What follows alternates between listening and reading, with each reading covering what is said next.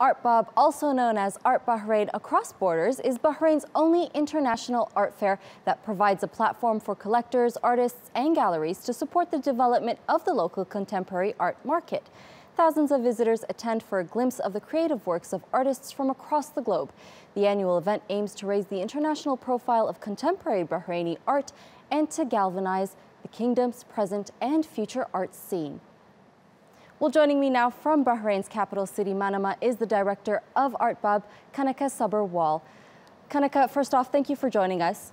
I want to start off with asking you how ArtBab was formed. What's the background?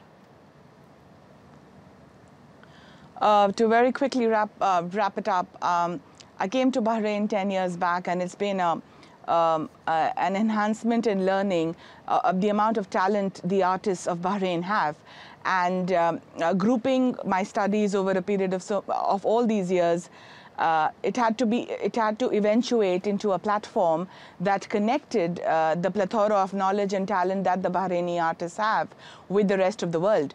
Uh, the project got its its its first um, well, it, it, got its existence uh, by the patronage of um, Her Royal Highness uh, Sheikha Sabika bint Ibrahim Al Khalifa, the wife of the king uh, of the King of Bahrain, who um, uh, not only is uh, you know is, is, is very, very fond of the arts, but has always uh, done a lot to support uh, the artists and the fraternity. Uh, when this project was presented to her, uh, her, her, her support and acknowledgement of it gave it the entire existence that it needed.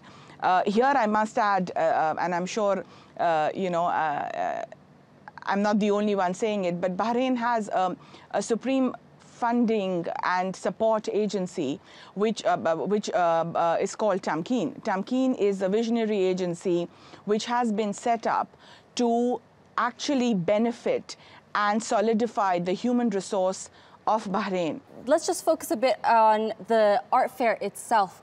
Um, we know it's a very multicultural event yes. and there's a lot of um, participants from different countries.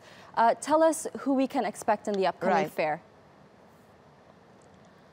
Um, again, uh, you know, ArtBab has been a platform which saw in 2015 we had participation from 19 different countries, uh, starting from the Gulf to the UK, Europe, India.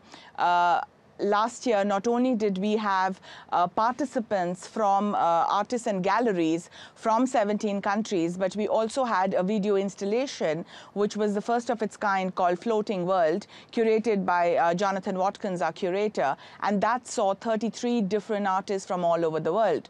So, uh, well, this year, uh, you just need to hold your breath and watch. We will have, we're diversifying into larger markets and trying to penetrate uh, well, different, different parts of the globe. Well, speaking about the market, um, it's a huge project, and we were just wondering if it has any contributions to Bahrain's economy. Um, definitely, because we are, uh, uh, is a platform that not only uh, is bringing the world of art to Bahrain, but is also uh, giving the platform to the Bahraini artists uh, to, to, to reach across the world. So in that sense, it is, it, uh, its divergence is definitely uh, beneficial.